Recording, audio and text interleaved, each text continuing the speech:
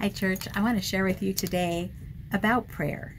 After hearing Pastor Guy's sermon on Sunday, I felt like this was something that um, my prayer life has not always been consistent, has not always been so strong and powerful. But over the years, I have learned, and I want to share some things that work for that have worked for me. But one thing that I want to show you is I want to show you and share with you this picture of my older son, Mikey. He um, played um, basketball at college, in college, at Arizona Christian. And for first couple of years, I would always see him go to the center line of the court before they started playing. And as his team was warming up and, you know, shooting baskets, whatever, he would always go to the center court and he would, what I thought, stretch. I thought he was stretching. And years later, I realized he's not stretching. He was kneeling and praying. And so I took his picture one time and I asked him, what do you say? What are you praying for? Are you praying for victory? Are you praying that you win? Are you praying that you make all the baskets, that you do such a great job? And um, he said, No, I'm not praying for victory. Obviously, we don't win every game, so I'm not praying for victory.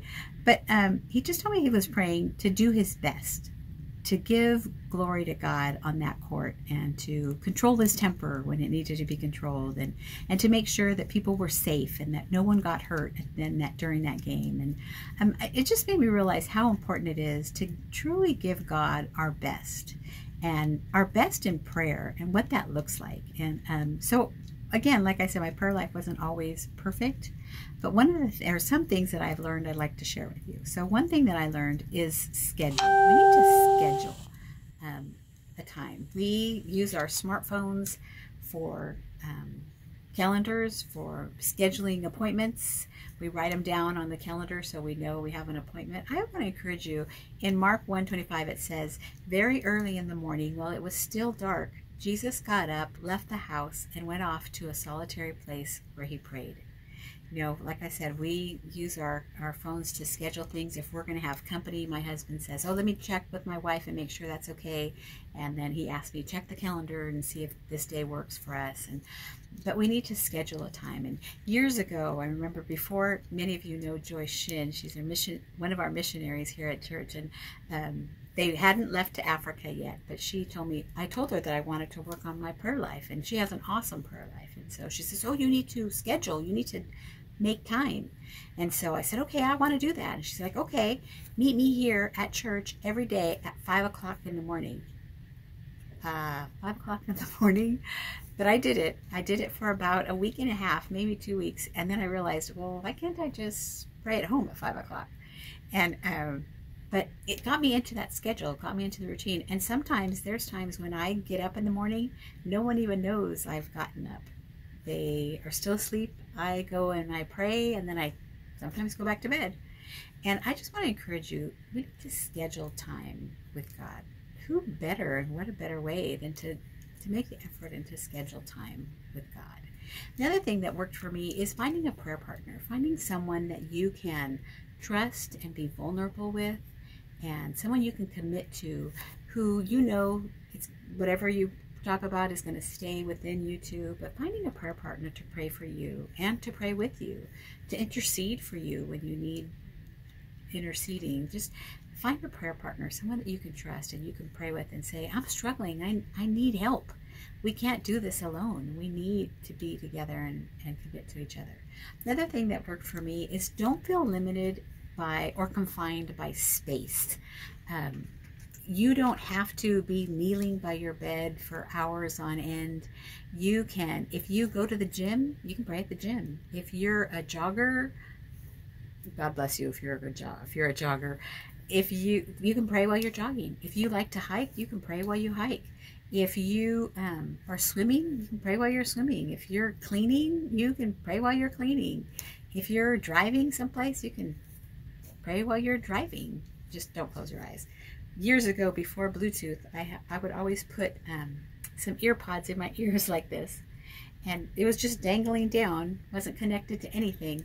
But as I drove, I didn't want people to think I was crazy talking to myself, so I would put in my ear pod and drive to work. And when people looked at me, I would be like, oh, I'm talking on the phone because I didn't want people to think I was crazy. But in Thessalonians, it tells us pray continually. Ask God. Talk to Him. He's your friend. Talk to Him like you would. And so I want to encourage you um, don't be confined to a space or a location. Pray anywhere, pray everywhere. And don't feel limited by time. Um, I heard a saying once I do not pray very long, but I don't go long before I pray. So I do not pray very long, but I don't go very long without praying. And I think that's so important for our lives. It doesn't matter the length. You don't have to use big words like Pastor Guy says. Just pray from your heart. Pray what you feel. That's what God wants from us. If you are one of those who can sit for hours and pray on your knees, God bless you. Can you say Superman? But if you're not, God is just as interested from hearing from us throughout the day. When you're stuck in traffic, or when you've got problems at work, or when you're being faced with a temptation, He wants to hear with us, from us. He wants to hear what we're going through. And then another thing that I try and do is slip away, excuse yourself. Um, Jesus was a master at this. Um, in Luke 5, it says, But Jesus often withdrew himself to places and prayed. And um, I know you think that you're busy, and you probably are, but no one is as busy as Jesus. He was discipling 12 men, he was preaching, he was followed by crowds, he was healing people, he was traveling, doing miracles, people pressing up against him, and yet he still stopped and slipped, slipped away to spend time with God. And um, have you ever woken up in the middle of the night there was no reason for it, no phone call, no loud noise. You just suddenly woke up. I always think that's God saying, I haven't heard from you. I need to hear from you. And um, I remember one time I woke up in the middle of the night and my older daughter was probably in junior high and kind of tough tough years. And um, I went into her room while she was still sleeping. I had been woken up and I went into her room and I knelt down by her bed and I prayed. And she stirred and turned around and looked at me and said, Mom, what are you doing? And I just simply said, I'm praying for you. And she turned over and she said, Oh, sweet, and went right back to sleep. And I, I, just don't want us to be limited. Slip away at times and spend time with God. And then one other thing is don't limit yourself to a certain type of. Maybe you need to start your day confessing and saying, God, you know what? I blew it yesterday and I need to confess. Um, maybe you just need to go and have a prayer of worship and listen to worship music in your car or at home.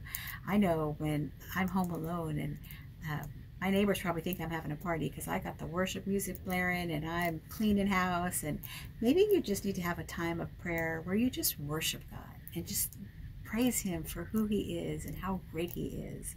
Um, sometimes when I'm walking or I go for a walk, I just, I'm so grateful and just a time of worship, of being thankful. It's another time where we can be, um, have a time of prayer where we're just thankful, thankful for all the blessings that God gives us. So maybe have a time of thankfulness where you have a prayer of thankfulness. I know walking, you just are so grateful and thankful for beautiful flowers and blue sky, and that I'm able to walk, that I have two feet to walk, and just a time of thankfulness. And then maybe there's a time when you need to intercede, a time of prayer to intercede for those people who you love, those people around you, for um, you know, I, I often wonder why people don't take more advantage of on Sundays. Every Sunday, Pastor Guy says, you know, if you need prayer, if you are struggling, go and, and there's prayer partners over there. I always wonder why people don't take advantage of those prayer partners, those people who are there who are ready to intercede for you and pray for you. We can't do this life alone. We need each other and we need to pray for each other. But we need to be open and honest and say, I'm struggling and, and allow people to pray for you. So maybe there needs to, to be a time and a time of petition where we just ask God for what we need. Yes, He knows. But there just comes needs to come a time when we just need to ask God for the things that we need. And write down your prayers. I keep a book of just prayer requests. And if someone says, Oh, I need you to pray for me, I write it down in my prayer request book. And I go through those. And I've done it for a long time. And I have lots of prayers that I go back and write down how God answered those prayers. Um, when I was a little girl, my parents arguing, I wrote down one time, mom and dad are arguing. Are they going to get a divorce? you know, my parents celebrated 50 some years of marriage. And so God answered that prayer. Um, or when our youngest son was going to be born, they gave me a test and they said that he was going to be born with Down syndrome. And God answered that prayer. And I have a perfect, beautiful son who is healthy and wonderful and funny and witty and, and is perfect. And so God answers those prayers. And so I would encourage you, find a book, find a way to go back and see God's greatness and how he has provided for you and taken care of you. And and the last thing is is is then acknowledge that those prayers have been answered by God. Acknowledge that he's in control and he knows what's best. You know, that country western song, thank God for unanswered prayers and and and just acknowledge that God is in control and He does know what best, what is best for us. And often He sprinkles little blessings on us, and you might be praying for something, and one door closes. But I'm a big fan that when one door closes, it's because God's got something better for you. And so I want to encourage you to just try and have a healthy prayer life. It's so vital for your walk with Christ. Um, I want to challenge you if you were like me years ago and I didn't have a strong prayer life, I want to encourage you find one thing that you can do, whether it's a prayer journal or scheduling time or finding a prayer partner or just start with this every morning before your feet hit the floor when you wake up and you open your eyes just say good morning god and help me to have a great day depending on your day maybe you've got a, a day where you're going to be swamped at work we'll say good morning god just help me at work today. Or good morning, God, I've got a doctor appointment that I'm really worried about. Can you just calm my nerves and give me your peace and comfort? Or good morning, God, thank you for a good night's sleep. Find ways to just connect with God. And prayer life is so vital and so important. So I want to encourage you. Continue, look for ways to communicate with your best friend, God. God bless you.